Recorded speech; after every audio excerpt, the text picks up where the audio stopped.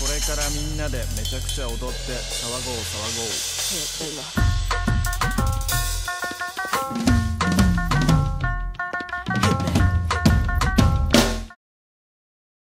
What's up YouTube? My name is Charles Goold and welcome to the Chops Exchange. On the Chops Exchange, I'm gonna show you how to take chops, licks, phrases, any kind of rhythms you could ever think of from different genres of drummers of all different styles and show you how you can apply it to the genre of jazz. In my book, music is music, drums is drums, rhythm is rhythm. We all gotta count and we all gotta feel good when we're playing. So I don't really believe in the whole biases of, oh, you can't play that because it's not from this specific recording, or you're a rock drummer, you can't play this or that. No, I believe you take any licks and you can fit them into jazz and do whatever you really want with all styles of music. So for the first series, we're gonna tackle The Beast, one of the, I mean, the greatest I've ever seen. You love him, you've seen him, Eric Moore. Now, you may not have even heard of Eric Moore, but you've probably seen his video that he did. It was a cover of uh, Missy Elliott's Get Your Freak On. Unbelievable. Like you, I was mesmerized the first time I saw it. I had even non-drummers sending me this link because it was so incredible. So I thought, hey, why not do this video? I've always been a big fan of Eric Moore's ever since his uh, Guitar Center drum off, stuff he did with Suicidal Tendencies. Just his viral videos are crazy, and I even took a lesson with him one time. Now I'm to show you guys how to break down and play the first three measure kind of crazy fill he did during this video. But first, I want to discuss um, something that's very important in jazz drumming, and that's the difference of sound. The thing with jazz drumming is that the sound of it is different than most other styles you're to hear. Things that are really important with the sound of jazz is definitely number one, your cymbals, number two, your heads, and number three, but not as important, sticks. Also, got to throw in drum sizes in there. So let's start with the cymbals. A little more washy than you would normally be uh, used to, but still has stick definition. As long as it passes those two tests and maybe a little bit darker on the dark side, you'll be you'll be fine. And if you have rivets in your cymbal, that's a big plus too. Heads are very important for the sound of uh, jazz drumming. In the early recordings, there was only one choice but to use calfskin heads. In the 60s, cats started using uh, coated coated uh, plastic heads because you didn't have to worry about your drums going out of tune if the you know if you had humid weather or something like that. So to start with, I highly highly recommend using coated ambassador Remo heads. One ply, nice and thin. You want to get a nice full open tone out of your drums. You don't want to deaden them.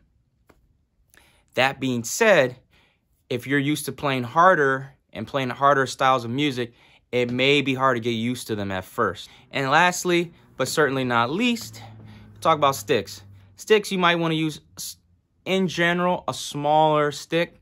The most important thing is that sticks change the sound of your cymbal a lot. And you're trying, and so really think about the stick definition you're going to get on your cymbal and uh, your ride cymbal beat. I personally use the Vater swing model. I like that it has a, a nice uh, taper on it that gives me nice bounce because you do a lot of, you know, closed rolls in jazz. And I like it that it also gives me stick definition.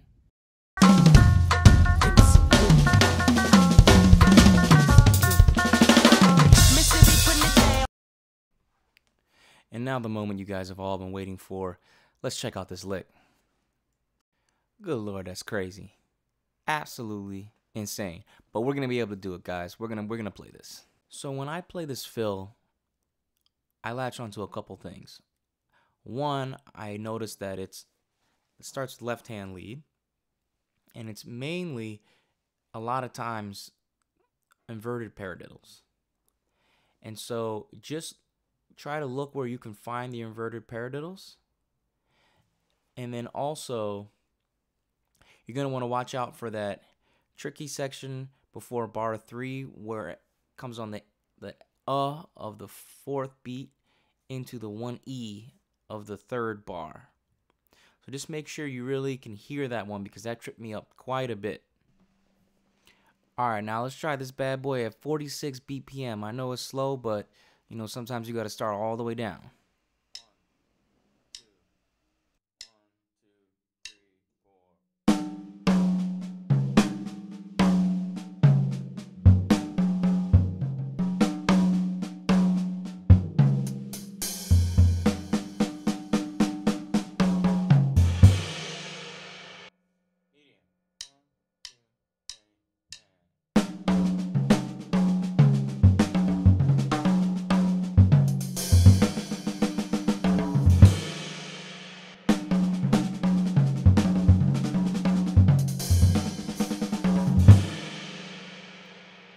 And now the moment you've all been waiting for. A tempo, 188 BPM.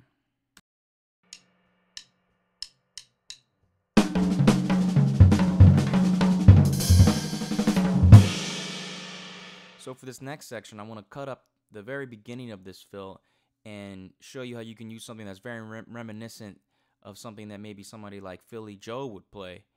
And it's a really, really easy lick, but it sounds great and you can use it in straight ahead situations. Now this fill alone won't sound very good, but if you play it in more of a 3 4 over 4 4 uh, context, then it starts to sound really hip. Alright, so for this lick, and for the interest of time, we're going to start off at 78 BPM. It's not too hard once you get it, so we'll build it up from there.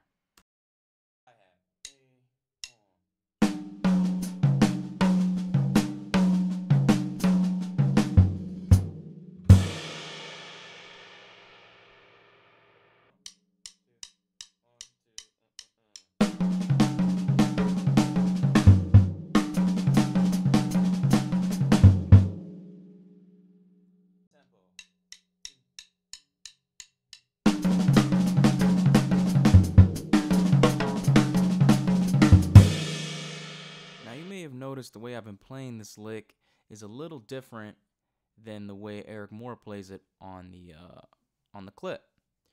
The reason for this is because in jazz there are different sounds that we use that you don't normally see in other styles of music. For instance, we'll do things like just play the open hi hat, like do sounds like, and you're gonna laugh at me right now, but I go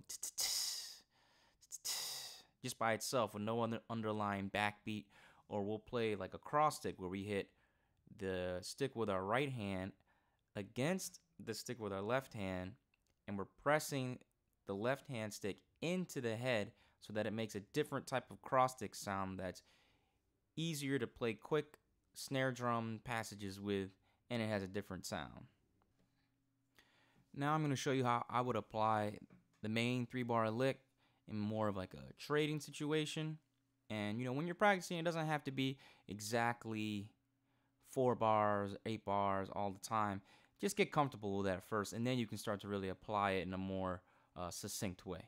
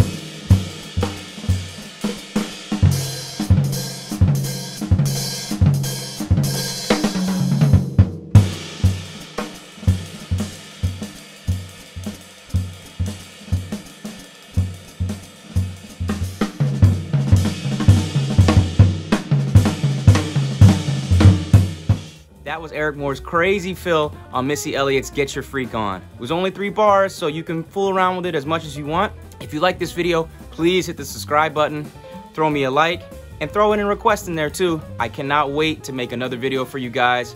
But until the next one, stay tuned and keep shedding.